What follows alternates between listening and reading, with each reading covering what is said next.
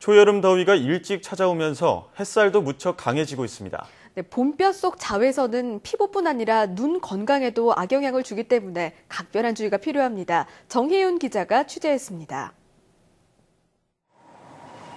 강렬한 햇살과 뜨거워진 도심, 마치 여름이 일찍 찾아온 듯합니다.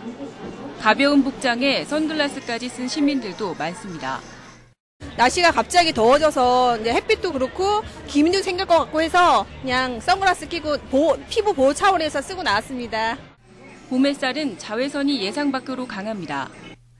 기상청 조사 결과 자외선 A가 6월이 가장 많았는데 2위는 여름이 아닌 5월이 차지했습니다. 자외선 A는 피부 노화와 눈의 건강을 해칠 수도 있습니다. 백내장이 생기게 하고요. 황반변상이라고 해서 최근 많이 문제가 되고 있는 망막 질환들도 자외선 통해서 생기게 됩니다. 따라서 자외선이 가장 강한 오전 11시부터 오후 3시 사이 외출하려면 자외선 차단제와 함께 선글라스나 모자, 양산 등으로 햇빛을 가려줘야 합니다. 선글라스는 색이 짙다고 해서 자외선 차단 효과가 큰 것은 아닙니다.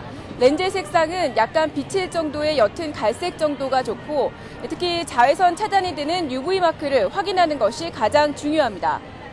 일찍 온 여름 더위에 점점 더 강해지는 자외선. 피부와 눈 건강에 비상이 걸렸습니다. YTN 정혜윤입니다.